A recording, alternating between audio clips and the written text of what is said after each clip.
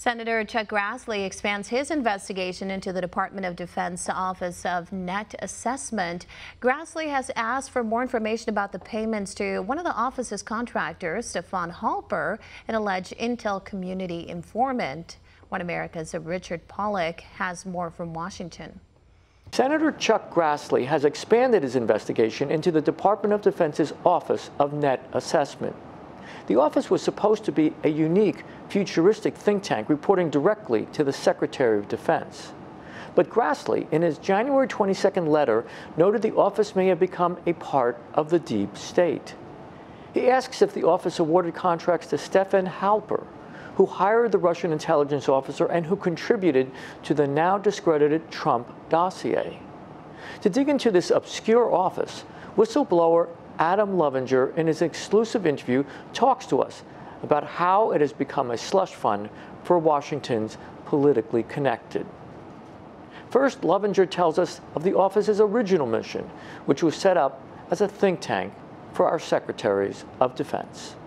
There was some very deliberate uh, thinking that went into the placement of the office that this had to be the Secretary of Defense's think tank to advise him on uh, difficult strategic challenges. How many net assessments have they produced over the last decade? The Office of Net Assessment produced no net assessments to inform our wars in Iraq and Afghanistan and has produced no net assessment uh, on Iran, for example. And so truly, when you look at the, the range of threats to the United States, um, the office has actually avoided all of those. There hasn't been a single net assessment over the last decade from this office? That's correct. And what uh, Senator Grassley has revealed in his letter is that it's really a two-part problem. One is that the office is derelict in its duty, its primary duty, to produce these high-level strategies known as net assessments. And secondly, what has it become? And what it's become is a slush fund for politically connected contractors. The contracting system in the Office of Net Assessment is utterly broke.